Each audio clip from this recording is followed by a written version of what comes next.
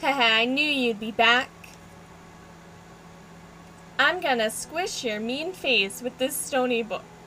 You're gonna use the statue as a weapon? What the fuck? She just yeeted the statue at me.